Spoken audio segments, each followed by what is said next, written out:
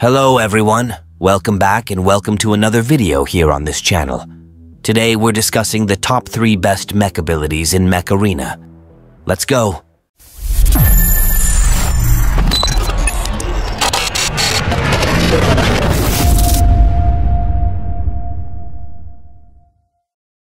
Third place, Guardian System Crash. The System Crash is a simple yet effective effect. It disarms any opponent within a range of 30 meters and triggers the cooldown of enemy mechs, even through walls.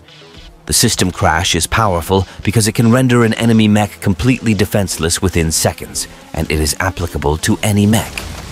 Mechs like Eclipse or Aegis are known for their ability to remain unaffected by enemy abilities while their abilities are active. For instance, an EMP debuff from Surge doesn't affect an Eclipse as long as its ability is active, and the ECM shot from Hemlock or the Ion Pod from Gatecrasher won't hit an Aegis within its dome shield. However, Guardian System Crash hits these mentioned mechs despite their abilities and disarms them. In short, there's no mech or ability that is safe from the system crash, making it the third strongest ability in Mech Arena. Second place, Aegis Dome Shield. The Dome Shield is a shield that protects Aegis from enemy fire in a 360 degree radius and from above. With 750,000 hit points at the maximum level, it proves challenging to destroy the Dome Shield. Aegis itself and team members within the dome remain unaffected by all abilities activated outside the dome shield.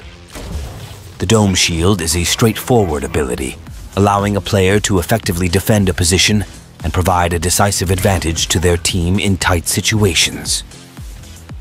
First place, Eclipse Phase Cloak. The Phase Cloak is much more complex compared to the two previous effects and is divided into three parts.